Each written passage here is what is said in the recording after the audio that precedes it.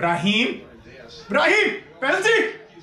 That's a penalty, come on! Oh, he's gonna look at the box. He gonna look at the box. Come on. Penalty! Calcio di rigori!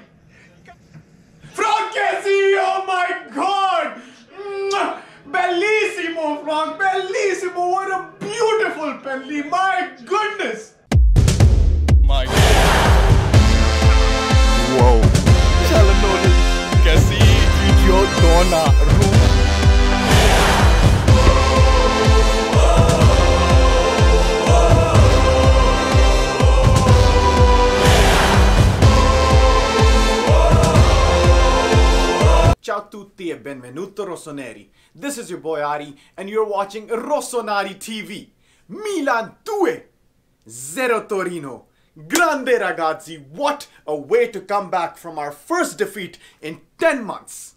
Now we all become Roma supporters for one day and hope they destroy our ugly cousins from the other side of Milan. The lineup today was not much different from that of Juve. Calabria dropped back to his original position, which he had to vacate again because of Tonali's unfortunate injury. Brahim Diaz stepped in behind the strikers in place of Hakan and put in arguably his best performance in the red and black jersey. A quick injury report. You're still here? Get the fuck out.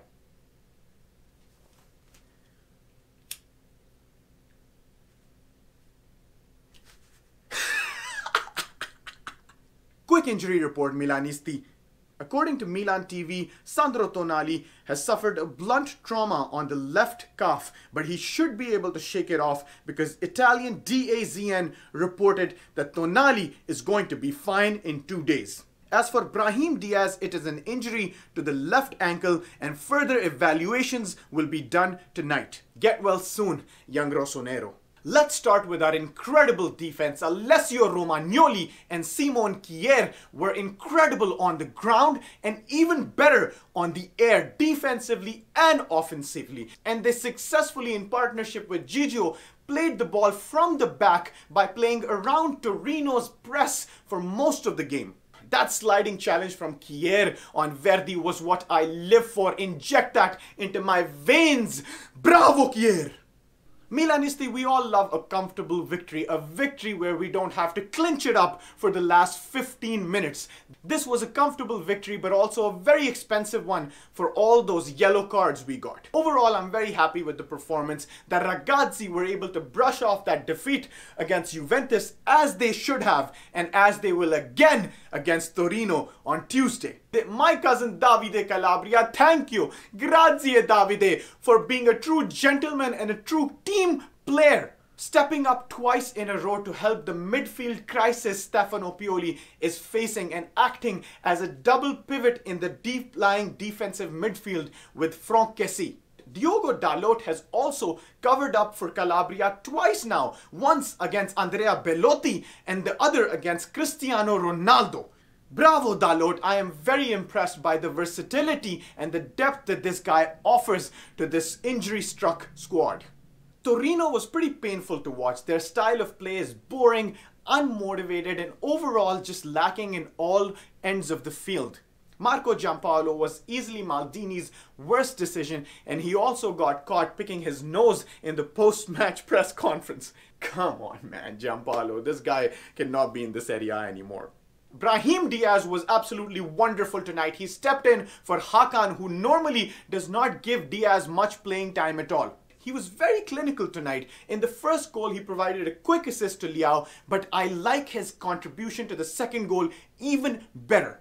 Signori, signori, if you look closely, Diaz didn't have really much to do in that attack because he was being closed down by multiple Torino players. Seeing that he didn't really have much to produce from a dribble, I think he intentionally played into a tactical foul and earned us a penalty.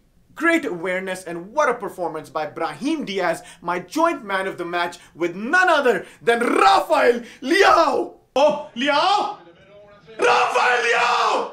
Rafael Leao! Ragazzi! 1-0 del Milan!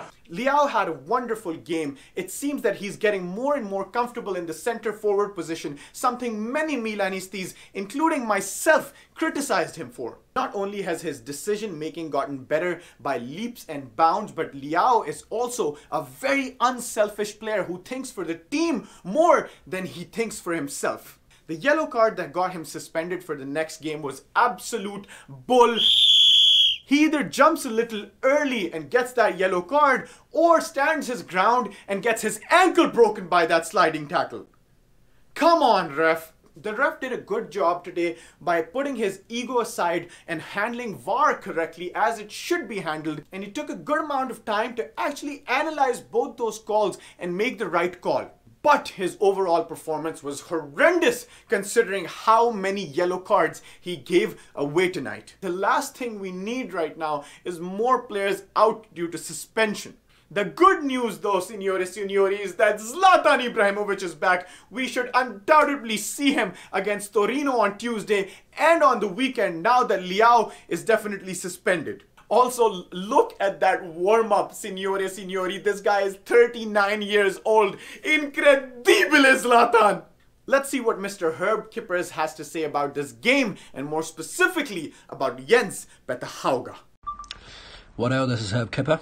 Congratulations, Milan fans. Big win today. Very pleasing to see, especially given the fact that we're coming off of a loss and the whole injury crisis, which is a nightmare.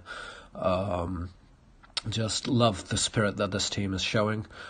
I do have one note, and that you may guess is for a young left winger, Jens Petter Hauge. Um, you know, he's a bright kid, and I don't want to hate, but he just didn't didn't show much today. He hasn't shown much for a while, if I'm being honest. Um, didn't really look a threat going forward. Didn't really link with anybody. Sort of forgot that he was playing, and I hope that he turns that around. I really do. Uh, but other than that, it was it was great stuff and uh, very well deserved win. Congratulations. Ciao tutti. A quick word on Hakan Calhanoglu and Samu Kasti. Samu Kasti displayed his best attribute tonight, which is the press. This guy can easily run a marathon and at the end of it still play a 90 minute game. Much like what Rebic does, Kasti's constant pressing and running in on the opponent's defenses and keepers can come in very handy. Hakan Calhanoglu, who was quick to shake off his injury from last week, is now, according to Fabrizio Romano, getting very close in his negotiations with the club. Great decision by my Turkish delights. Please accept the offer and sign the damn contract. Milanisti, I hope you enjoyed this game after that loss against Juventus. Even Torino's player Rincon enjoyed Milan's performance tonight. Grande Milan and grande tifosi. I will see you again in three days against Torino again. In the meanwhile, please like, subscribe and comment below. Let me know what you want from this channel. And if you're on Twitter, follow us on Rossonari TV. Unless you are a Merda fan, in that case, save your asses against Roma tomorrow. Grande ragazzi, ciao tutti e forza Milan!